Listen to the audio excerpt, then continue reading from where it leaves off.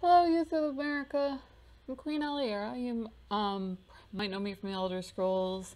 Um, what to play next, I go by Anne Jindra. Girls always use a handle online. Um, it's just safer than using your real name. Something we always recommend. But I, I've noticed a problem with the Youth of America. If there was like a bid button, like some people have impulse control, you guys have impulse control. The second anyone suggests something to you, like if there's a bid button, you would lunge for it. So today we are going to take you through a little thing called Frogger. As soon as I figure out the control scheme. What is Go? And you will see File Manager, Slider, Controls, Video, Select New Machine, Return to Machine. You will see what it is like to arcade. Because this is how we learned patience when I was younger. See that little guy there? He doesn't want to die. He doesn't want to pass away. He wants to cross the street, so he needs to wait his turn. Do you know what's going to happen to him if he doesn't wait his turn? He's going to get run over by a car. The things we learn in life. So if you have not, uh-oh, oh, oh no. See, I got excited. Now I'm off the screen. There we go. And they will disappear eventually. You died a lot in arcade. Yeah, that's how we learned. So the short version of this thing, this is the futility that was gaming back in the 1980s. And this is what we grew up on. So when you guys are like, I don't understand, you know, why it's taking five whole minutes for my app to download, we don't understand why you don't understand what it's like to play through a game 800,000 times. Because see how each of my froggies have to have a face in a different crenellation? Just so that you can see ending credits. And then of course there's the street cred, you know, there's always that.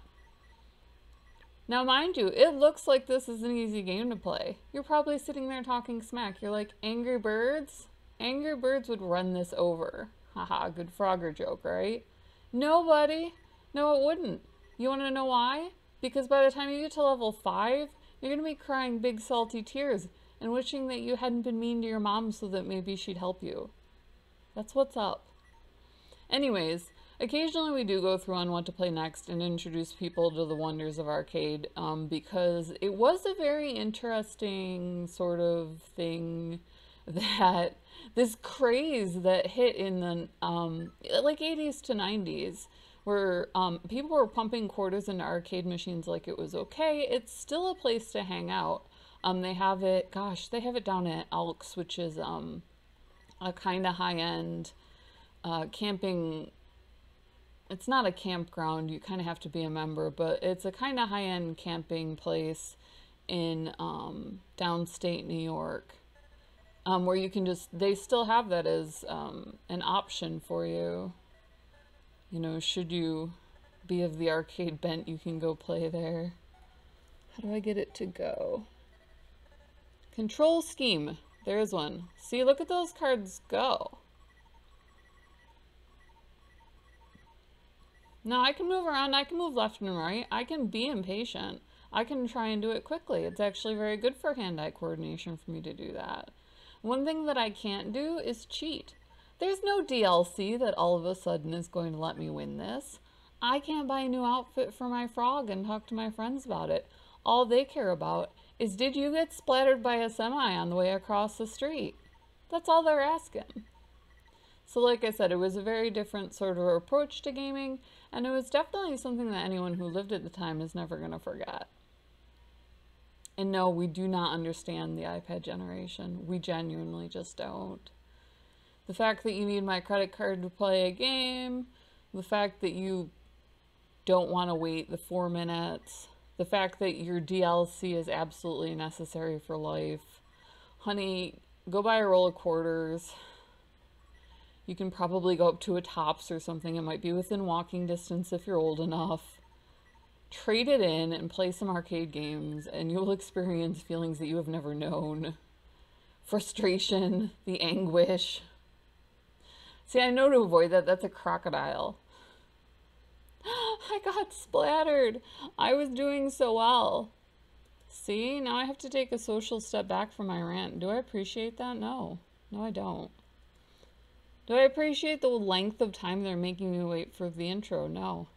So anyways, that's Frogger. I mean, if you're having a mega flashback like I am, every once in a while I do chuck an arcade game in there just to kind of keep these whippersnappers on their toes because the bottom line is arcade gaming taught us patience.